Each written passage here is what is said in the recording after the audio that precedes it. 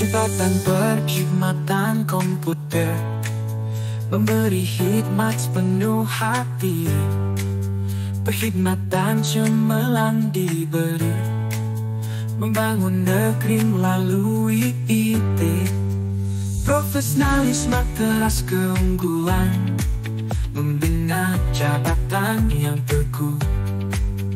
Layanan pasti berkualiti Cekap dan berkesan Menjadi jabatan terunggu Memberikan khidmat yang mencapai kepastian kualiti Komite inovatif dan dedikasi